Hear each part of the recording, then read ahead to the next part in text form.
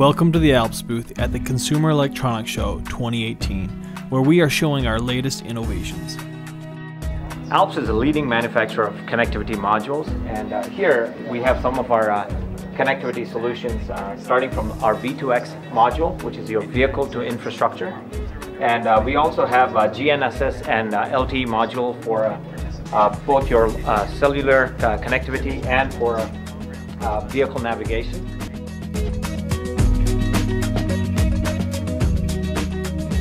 Here's an example of our IoT sensor network module. And we have our module integrated into our baseball for pitch analytics. And here you see how we're able to use the accelerometer and a geomagnetic sensor to calculate both position and velocity. And our IoT sensor network module also is able to connect to your cloud and we have a partnership with Mode to provide a backend data analytics. So you're not only able to collect data from your sensor network module, but you're able to visualize it and uh, analyze it and post-process it on a cloud platform.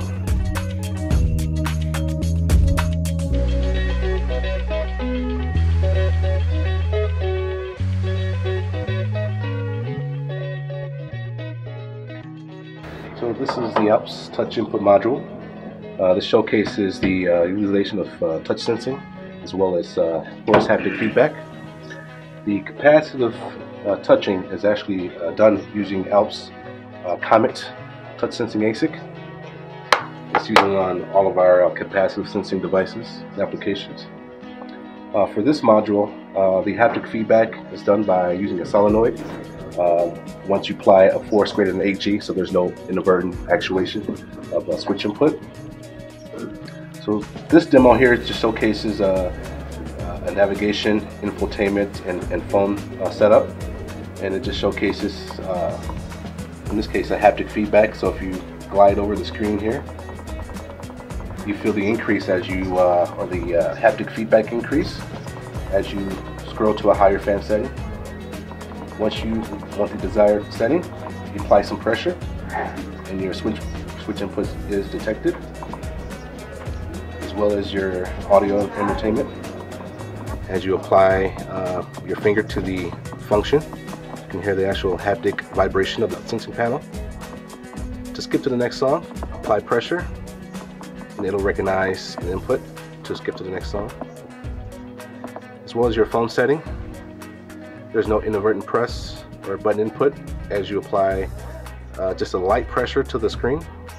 To recognize an actual valid button press, you'll have to apply high amount of pressure to recognize the switch input so there's no inadvertent actuation.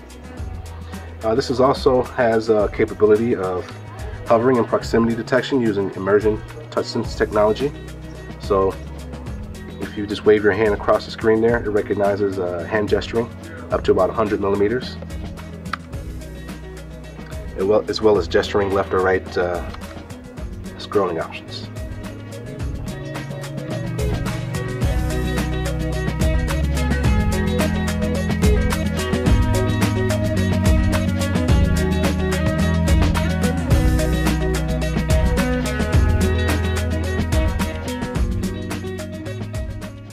So this demo showcases the haptic reactor. Uh, this is um, primarily for gaming and uh, VR control. So in these controllers, you'll see there's two haptic reactors, two different sizes, which will represent higher frequency or lower frequency uh, inputs and outputs to uh, give you more of a realistic uh, gameplay. So the reactor is able to differentiate uh, based on the input pulse. So for example, if we have a light density uh, it should register as a high frequency. So your tough type, which is your smaller uh, uh, reactor device, it will input a high frequency, uh, resonant frequency, and then will also output your uh, out, high frequency output as well. And conversely, for your uh, more heavier dense inputs, it will register as a low frequency input and it should, should register a low frequency vibration, which is used by your hybrid super tough type uh, reactor. So this demo was able to differentiate between a high density or heavy ball versus a low impact, low density ball, as well as uh, a low density coin, for example, to give a little higher frequency.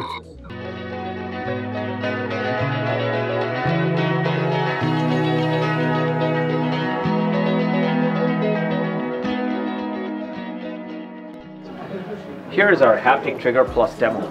This is the next generation VR immersive experience. Uh, what we have here is we have combined haptic feedback with temperature and pressure sensing. And we use our vibrational motors along with our potentiometer to detect softness and hardness of objects. And also we're integrating temperature, so in a VR environment, you're able to actually pick up objects and sense whether it's hot or cold.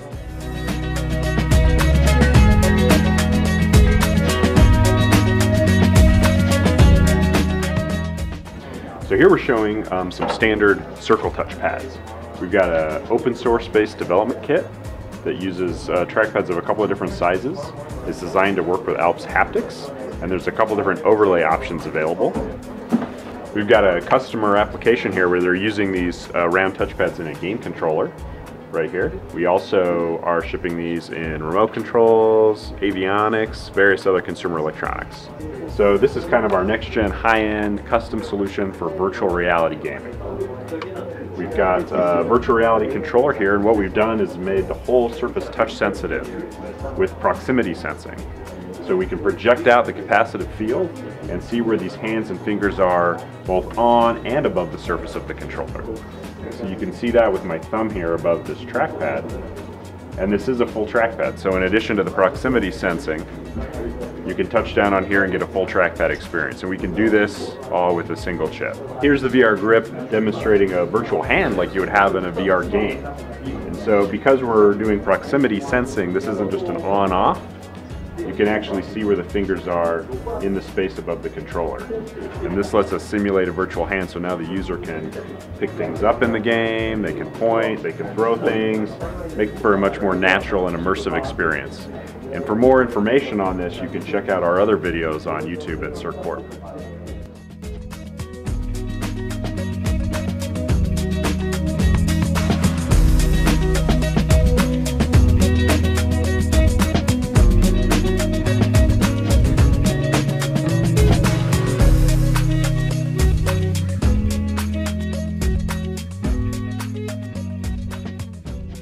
One of our examples of how capacitive sensing can be integrated into premium materials.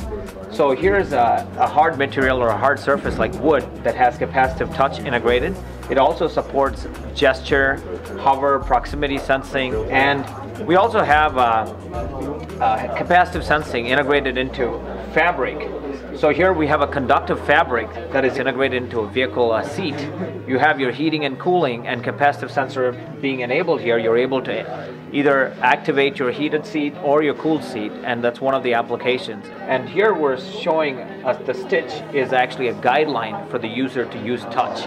As our capacitive sensor is actually highly sensitive to detect the user's input of his finger as it goes up the stitching for different types of input operations.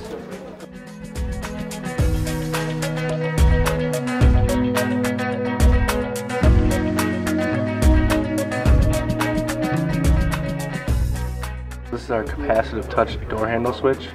It utilizes Alps capacitive ASIC technology and here we're just demonstrating a specific application of the capacitive touch. So here we have our standard capacitive door handle but what's different about this door handle?